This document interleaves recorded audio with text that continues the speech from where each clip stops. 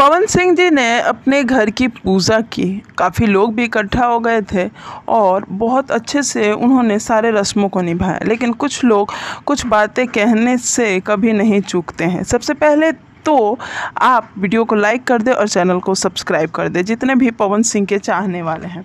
पवन सिंह जी ने जो आरा में घर बनवा रहे हैं, उसकी कल भूमि पूजा की। दशहरा का दिन था और सबसे पवित्र दिन माना जाता है।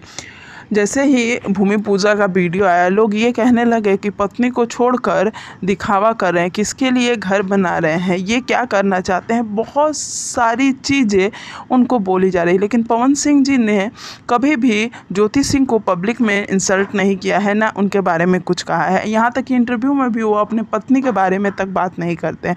उन्होंने तो यहाँ तक भी कह दिया था कि अब मेरे से प्यार नहीं होगा, शादी तो बहुत दूर की बात है। क्या पवन सिंह अब अपने जीवन में आगे बढ़े या अकेले ही अपनी ज़िंदगी